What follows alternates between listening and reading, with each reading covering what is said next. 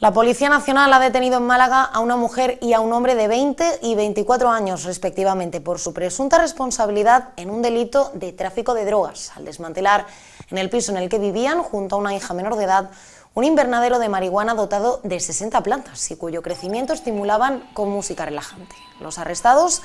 habían acondicionado al más mínimo detalle una habitación para el cultivo de esa sustancia, incluso reproducían la música relajante a las plantas para impulsar su crecimiento, según ha informado la Policía Nacional en un comunicado. La investigación se inició a partir de varias informaciones que apuntaban a la posible existencia de una plantación interior de marihuana en un domicilio de la capital malagueña. El fuerte olor a marihuana, así como un ruido incesante de unos extractores durante las 24 horas del día, evidenciaron que existía el cultivo. En la entrada y registro en el domicilio, los agentes intervinieron 60 plantas de marihuana en estado de crecimiento y floración, una balanza de precisión y seis bombillas de 600 vatios de potencia, entre otros efectos. En la habitación en la que estaba enclavado el cultivo, los investigadores descubrieron un equipo de música que reproducía sonidos de la naturaleza. Con esto buscaban impulsar